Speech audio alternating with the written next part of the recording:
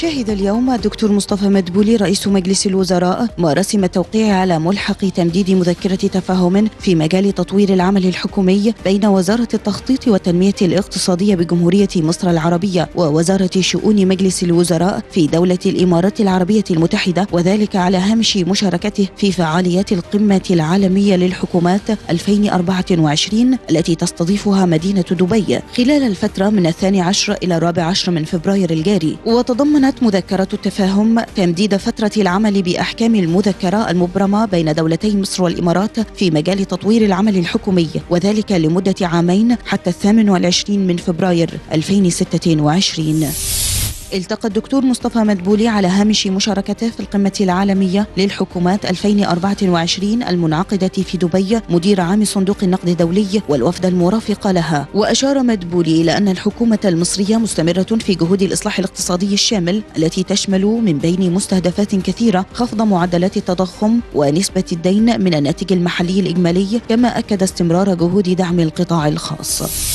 التقى الدكتور مصطفى مدبولي رئيس مجلس الوزراء الدكتور سلطان الجابر وزير الصناعة والتكنولوجيا المتقدمة الإماراتي. وأكد رئيس الوزراء في مستهل اللقاء على العلاقات التاريخية بين البلدين لافتا إلى أهمية دعم تلك العلاقات وتعزيزها من خلال التعاون بين البلدين الشقيقين في مختلف المجالات. وأشار وزير الصناعة والتكنولوجيا المتقدمة إلى العلاقات الوثيقة التي تربط الدولتين مثمنا دعم الذي قدمته مصر للإمارات خلال مؤتمر المناخ كوب 28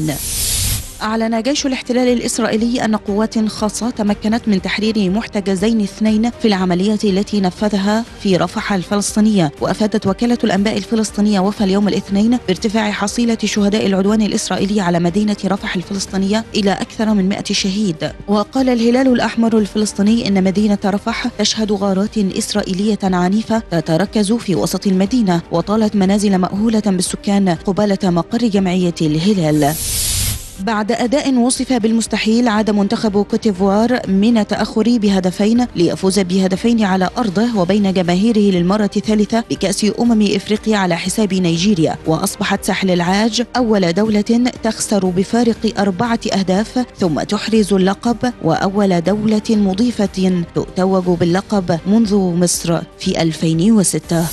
شهد الفريق أول محمد زكي القائد العام للقوات المسلحة وزير الدفاع والإنتاج الحربي مناقشة البحث الرئيسي لكلية القادة والأركان والذي تناول الاستعداد القتالي للقوات المسلحة في ظل التطور التكنولوجي لمختلف وسائل الصراع وعقائد القتال الحديثة والذي يأتي في إطار خطة الأنشطة البحثية للقوات المسلحة وذلك بحضور الفريق أسامة عسكر رئيس أركان حرب القوات المسلحة وقادة الأفرع الرئيسية وعدد من قادة وضباط القوات المسلحة. وألقى اللواء أركان حرب أحمد محمود صفي الدين مدير كلية القادة والأركان. كلمة قدم خلالها الشكر للقيادة العامة للقوات المسلحة على تقديم كافة أوجه الدعم لتطوير الفكر العسكري والارتقاء ببرامج الإعداد والتأهيل العلمي لدارسي الكلية بما يمكنهم من تنفيذ المهام المستقبلية على الوجه الأمثل. شارك في إعداد البحث نخبة من الخبراء الاستراتيجيين والباحثين بكلية القادة والأركان